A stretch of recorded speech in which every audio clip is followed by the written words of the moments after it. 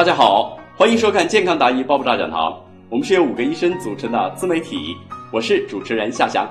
今天我们来说说，男人衰老时身体会有哪些变化？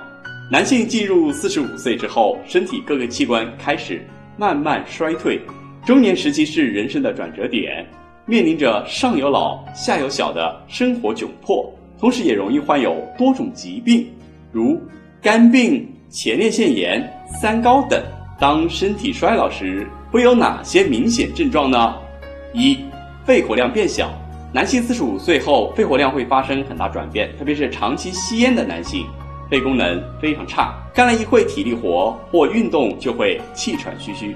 出现此症状，说明衰老已经靠近。二、听力小。听力变差是男性衰老的主要表现之一。当达到一定年龄，耳道变狭窄。且耳膜增厚，人们的听力会出现不同程度的下降。另外，进入中年后，肾气流失速度快，同样可影响听力。三、口臭，达到一定年龄时，肠胃功能也会变得越来越差，不能更好的吸收食物中的营养物质，容易出现消化不良。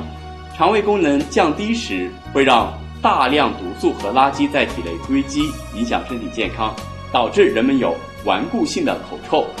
好了，各位亲爱的朋友，今天我们就先聊到这里了。如果大家有什么疑问，可以关注我或在下面评论区留言。